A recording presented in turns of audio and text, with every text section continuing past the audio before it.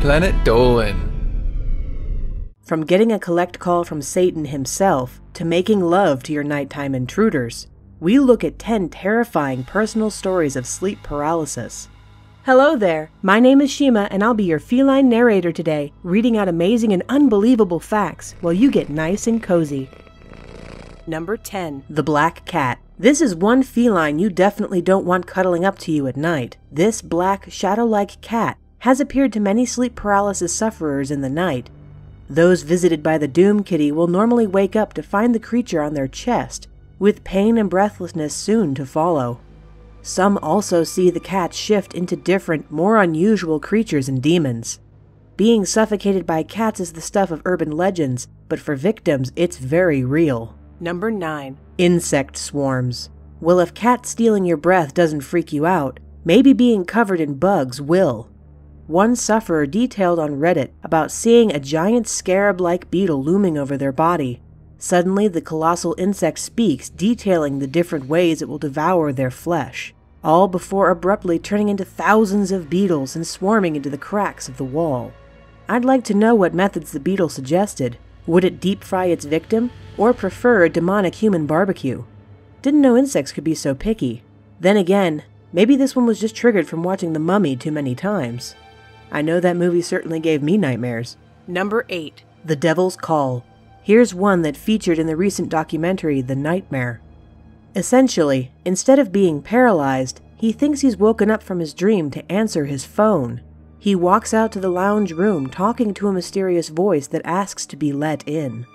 When the victim says no, the room starts to shake and the voice turns angry. The room begins to shake and he can't move. Scared out of his mind, he turns to Jesus for help, and bam, snaps right out of it and is back in his bed. Whoever said God wasn't there when you needed him? Number 7. Rapid aging. It's described as something like the guy drinking from the wrong grail in Indiana Jones and the Last Crusade, but on acid. This story involved our victim going from a pleasant lucid dream to waking up paralyzed with an old woman in front of their face, rapidly aging before their eyes. Oh god, the horrors of having old people shoved in your face like that. The account doesn't say how they escaped, but I bet it wasn't without the old woman complaining about the cold before rushing off to get a senior special at Denny's. Number 6. The Man in the Attic. Why is there always something terrible lurking in attics? This unfortunate soul had the horrible vision of seeing something very sinister lurking in the roof above them. Waking up, they see the hatch in their roof open up and a dark being crawl out attempting to reach the victim in their bed. Imagine being unable to move, with a clawed shadow creature trying desperately to grab you and pull you into the abyss of your dark attic. Dear God, the horrors that lurk up there, like your dad's record collection. Number 5. Dead cousin in your bed. Everyone wants to see their dead relatives again, right? Maybe just not under such terrifying circumstances. This victim came under paralysis with a woman in a jacket standing at his closet door, back turned towards the bed. On top of that, they can sense another person in the bed with them, but they can't turn to see who. Suddenly, the figure in the jacket turns, revealing that it was their cousin that died the year before. Panicking, they scream, trying to get the other person in the bed's attention.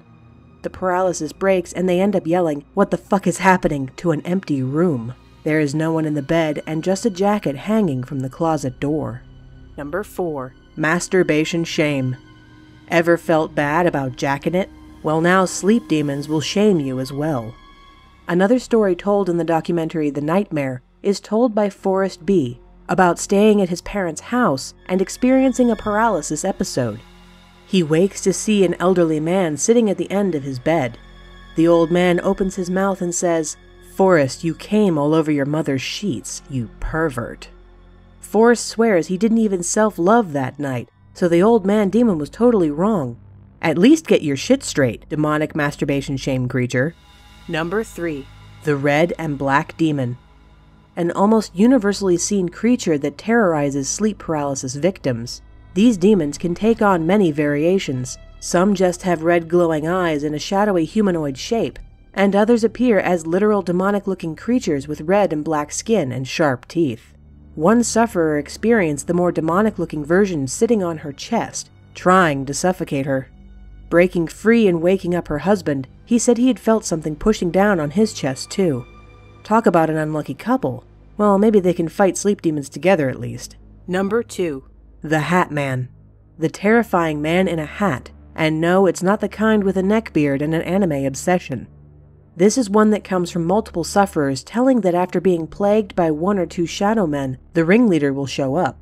Universally, this is a man in a fedora standing behind all the other creatures, menacing the victim with a blurred or shadowed face. For some sufferers, the Hat Man only watches, but for the unlucky few, he will strangle or hit them. Geez, give me the other fedora wearer any day. Number 1. Sex with your demons. Well, as it turns out, this sleep demon may just want a piece of ass. This person had been experiencing sleep paralysis since they were seven years old, but didn't try doing anything sexual with the dream intruders until their late 20s. Finding that if they could get their hand to move to their own crotch, this would initiate sex with the creatures. The victim would then orgasm without any real world stimulus and quickly fall back asleep. Mystery solved. Sleep demons just want to have some kind of Rosemary's Baby encounter with you. Well, that's not going to give me nightmares. Thanks for listening. Bye.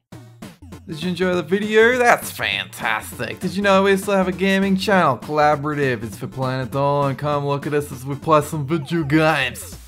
Like animation? Have some questions about life and the universe you need answered? Come check out Super Planet Dolan. Danger Dolan and I will answer your life questions. Links are down below.